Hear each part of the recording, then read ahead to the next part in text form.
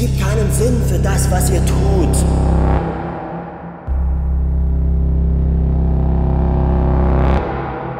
Moor hat keinen Plan und Moor will nichts mit diesen Räubern.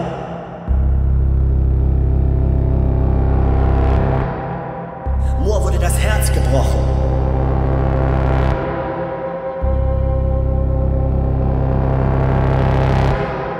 Wurde von seinem Vater verstoßen und er glaubt, nur weil er nie mehr glücklich wird ohne seine Amalia, darf auch niemand sonst glücklich sein.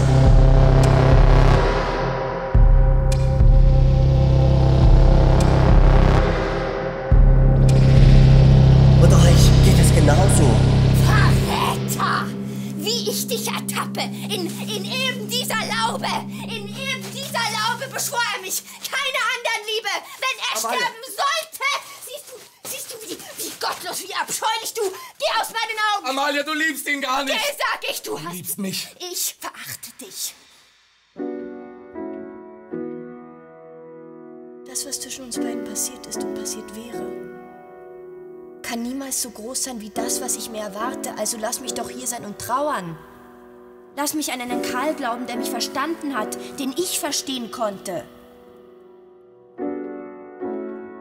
Manchmal glaube ich ja, dass es etwas anderes geben müsste als all das hier. Und dann gibt es doch nur immer und immer und immer und immer wieder all das hier, das bleibt.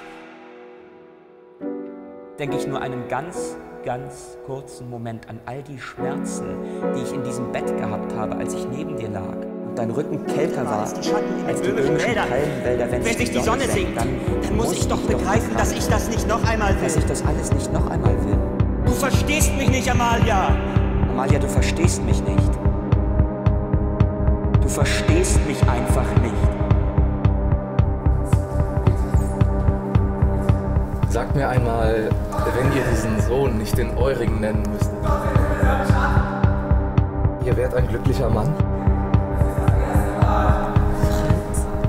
Franz, was sagst du denn da? Ihr ihn nicht mehr, so ist dieser Abart auch euer Sohn nicht mehr und wehe er euch aus dem Fleische geschnitten. Willst? Ich soll meinen Sohn verfluchen. Ich bin nie ein gemeiner Mörder gewesen.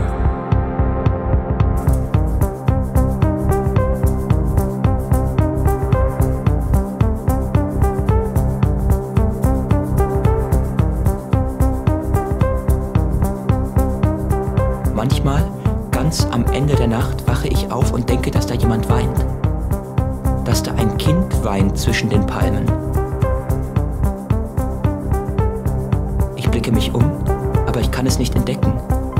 Ich kann es nicht sehen. Um mich herum nur Nebel, das frische Sonnenlicht und die Stämme von tausend Palmen. Und dann verstehe ich auch, warum es weint.